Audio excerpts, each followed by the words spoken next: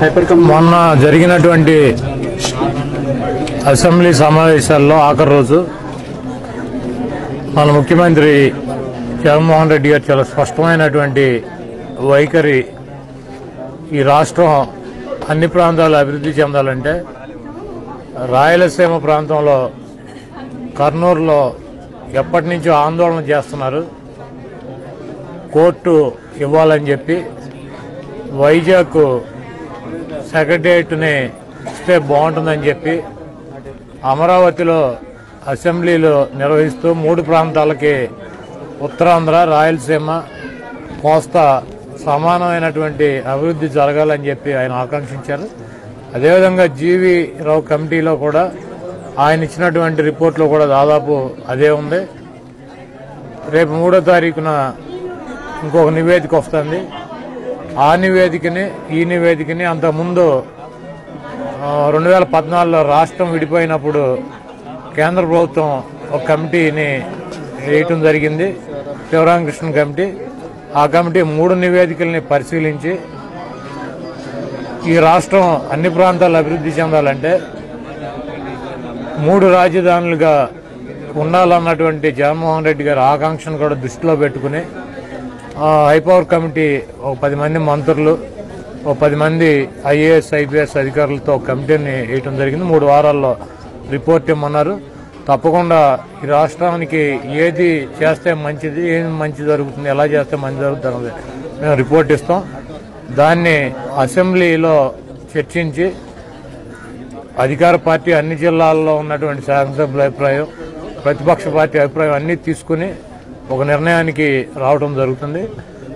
నాకు ఉన్నటువంటి రాష్ట్ర స్థితిగతులు ఆర్థిక పరిస్థితులు రకరకాల ప్రాంతాల్లో వాళ్ళ ఆకాంక్షలు వాటన్నిటిని కూడా దృష్టిలో పెట్టుకుని నాకున్నటువంటి నాలెడ్జ్ ప్రకారం నేను కూడా కమిటీలో సభ్యుడిగా ఉన్నాను కాబట్టి కొన్ని సలహాలు ఇవ్వటం జరుగుతుంది. ఏదేమైనా కూడా జగన్మోహన్ రెడ్డి గారు కోరుకున్నట్టు మా ప్రభుత్వం అయితే అన్ని ప్రాంతాల అభివృద్ధి జరగాలన్నటువంటి ఆకాంక్షతో ఉన్నాము తప్పకుండా ఆయన అనుకున్నట్టు ఈ రాష్ట్రాన్ని అభివృద్ధి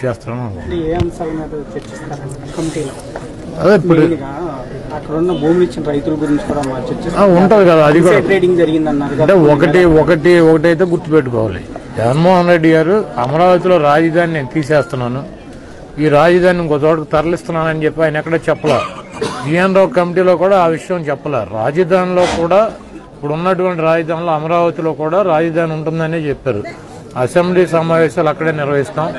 ఇంకా ఇతర ఎడ్యుకేషన్ కానీ లేకపోతే ఐటీ రంగంలో కానీ లేకపోతే ఇతర ఇతర పెట్టుబడులు తీసుకొచ్చి ఆ ప్రాంతంలో పెట్టి ఆ ప్రాంతాన్ని కూడా అభివృద్ధి చేస్తామని చెప్పారు కానీ ఆ ప్రాంతాన్ని పూర్తిగా తీసేస్తామని అయితే కనుక ఎక్కడ జగన్మోహన్ రెడ్డి గారు చెప్పలో పీఆర్ రిపోర్ట్లోనూ లేదు ఇంకెక్కడ కూడా ఏ రిపోర్ట్లో కూడా లేదు.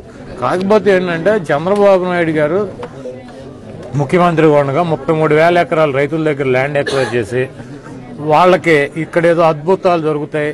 హైదరాబాదు మద్రాసు బాంబే ఢిల్లీ సింగపూర్ రకరకాల దేశాల యొక్క మ్యాపులు చూపించి ఒక గ్రాఫిక్స్ అంటే భయంకరంగా మూడు నిమిషాలు నాలుగు నిమిషాలు గ్రాఫిక్స్ బిల్డింగులు ట్రైన్లు పడవలు కార్లు సైకిళ్ళు స్కూటర్లు రకరకాలటువంటి వాతావరణాన్ని క్రియేట్ చేసి వాళ్ళని తీసుకెళ్ళి రాజధాని రైతులను ఎక్కడో ఆయన ఆకాశంలో పెట్టేశాడు ఆయన.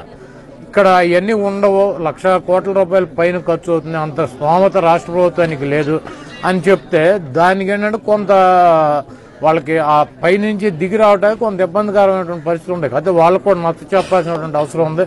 రాష్ట్రంలో వాస్తవ పరిస్థితుల్ని ఈ రాష్ట్రంలో ఉన్నటువంటి డబ్బుని ఈ రాష్ట్రంలో ఉన్నటువంటి ఇతర ప్రాంతాలను అభివృద్ధి చేయాల్సినటువంటి బాధ్యతని వాటన్నిటిని కూడా వాళ్ళకు కూడా చెప్తాం. వాళ్ళు కూడా వాళ్ళు కాకపోతే రేపు రేపు కాకపోతే ఎల్లుండి వాళ్ళు కూడా సాధారణ స్థాయికి వస్తారని చెప్పి నేను అనుకున్నా చంద్రబాబు నాయుడు గారు నిన్న అంటాడు సంపద సృష్టించాలంట. అది మాకు రావట్లేదంట ఆయనకు వస్తుందంట. సిగ్గు శరం లేదు మాడతకి మూడు లక్షల యాభై వేల కోట్ల రూపాయలు అప్పులు చేశాడు. ఈ సంపద సృష్టించేవాడు ఎవడన్నా మూడు లక్షల యాభై వేల కోట్ల రూపాయలు అప్పులు చేస్తాడు. అంతకుముందు తొంభై వేల కోట్లు ఉన్నాయి. ఈ రాష్ట్రం విడిపోయినప్పుడు రెండు లక్షల అరవై వేల కోట్ల రూపాయలు అదనంగా అప్పులు చేశాడు. సేమ్ టైం కాంట్రాక్టర్లకు కానీ ఆయన ఇవ్వాల్సినటువంటి పనులు చేయించుకున్న వాటికి దాదాపు నలభై ఐదు వేల కోట్ల రూపాయలు బాకీలు పెట్టిపోయాడు పోయి సిగ్గు సేరం లేకుండా ఇక అబద్ధాలకు కూడా పరాకాష్ట అనమాట సంపద సృష్టించాలి. మీకు సంపద నువ్వు సంపద సృష్టించేవాడు అయితే తొంభై వేల కోట్లు రెండు లక్షల యాభై వేల కోట్లు అదనంగా ఎందుకు అప్పులు చేసావు? బాకీలు పెట్టుకుని ఎందుకు పోయావు? కాబట్టి సంపద సృష్టిత్వం అంటే అప్పులు చేయటం అనుకున్నాడు. ఈ అప్పులకి వడ్డీలు కట్టాలి. అంతా కూడా రాష్ట్ర ప్రజల మీద భారం ఉంటుంది. ఇతర ప్రాంతాల్లో మరి వాటర్ ప్రాజెక్టులు కానీ రాయలసీమకి లేకపోతే కడపకి స్టీల్ ప్లాంట్ కానీ కడపలో కర్నూలు హైకోర్టు వాళ్ళ సెంటిమెంట్ అడుగుతున్నారు. ఎప్పుడో పంతొమ్మిది వందల యాభై మూడులోనే మన గుంటూరులో కోర్టు ఉంటే హైకోర్టు పెడితే రాయిదాని వాళ్ళకి ఇచ్చాం కర్నూలులో.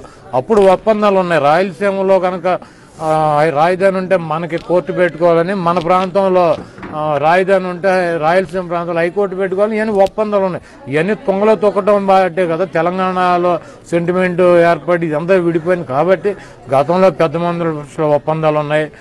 న్యాయ నిపుణులు లేకపోతే దీని మీద ఉన్నటువంటి నిపుణులు కమిటీలు ఇచ్చినటువంటి రిపోర్ట్లు ఉన్నాయి. వాటి అన్నింటిని కూడా దృష్టిలో పెట్టుకుని తాత్కాలికంగా ఉన్నటువంటి ఆవేశాలని దృష్టిలో పెట్టుకోకుండా దీర్ఘకాలిక ప్రయోజనాల కోసం పనిచేయాలి.